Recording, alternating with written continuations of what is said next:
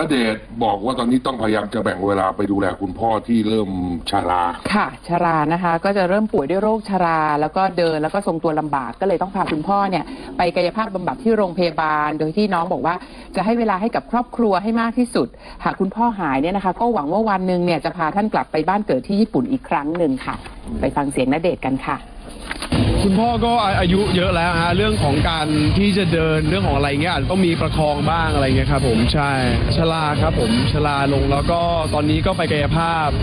อยู่ที่โรงพยาบาลพญาไทยหนึ่งนะฮะก็ก็คือแกเดินได้แต่เอ่อการทรงตัวเนี่ยคุณพ่ออาจจะทรงตัวไม่ค่อยได้เท่าไหร่อยากจะพาท่านกลับไปที่ญี่ปุ่นอีกครั้งหนึ่งนะครับผมใช่แต่ก็เดี๋ยวดูกันอีกทีว่ายังไง คุณพ่อแฮปปี้นะจริง ๆแล้วฮะท่านแบบว่า นั่นแหละฮะอืมดีฮะต้องดูแล น่ารักมากน่ารักค่ะมากนี่ขต้นาองดดูแลงานเยอะมาก ใช่ค่ะ มา